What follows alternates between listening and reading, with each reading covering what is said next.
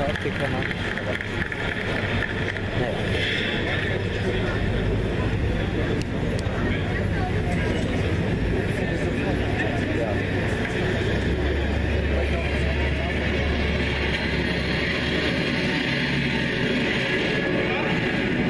Ja, meine Damen und Herren, und parallel geht es gleich wieder los mit unseren Aufräumarbeiten, damit wir die nächste Show auch vorbereiten können.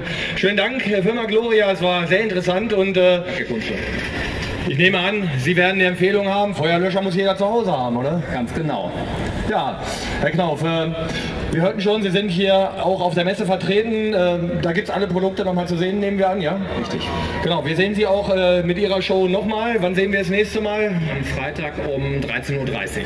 Ja, also wer jetzt gerade dazugekommen ist im Vorbeigehen, Freitag 13.30 Uhr, die Firma Gloria nochmal mit ihren äh, Feuerlöschgeräten, Feuertrainern und äh, wer sich dann traut, der darf sicherlich auch mal probieren, oder?